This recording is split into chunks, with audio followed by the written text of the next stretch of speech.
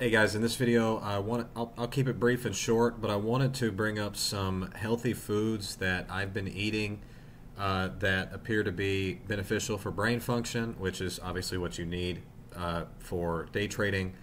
Um, and I'm going to link this video from Thomas DeLauer on it, but um, basically, guys, I've been eating a lot of foods that are high in omega-3, a lot of canned fish. Um, I just had anchovies, sardines.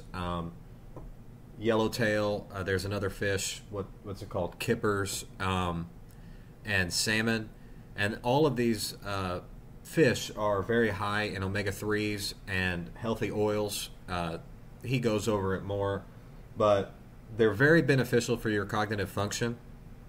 Um, also, guys, uh, I eat like olive oil olive oil spread. It's basically just like crushed olives.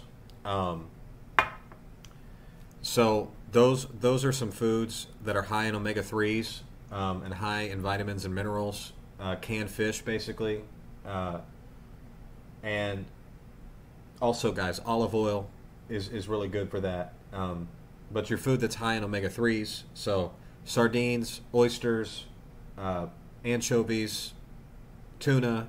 I know tuna can be high in mercury. Um, but basically, guys, uh, canned fish and olive oil is very good for your cognitive function, along with all the other dietary stuff that we've talked about. Um, I know that some people use like alpha GPC. I don't use any supplements, but you could go down that road as well. And then always staying, always staying hydrated. So, and anyways, guys, I'm going to link um, Thomas DeLauer's video on this, and I do highly recommend if you've never eaten like anchovies before, they're pretty good actually.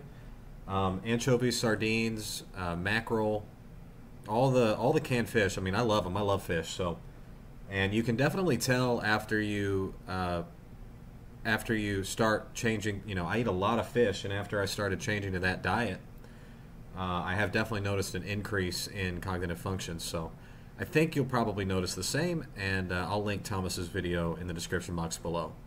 Bye bye.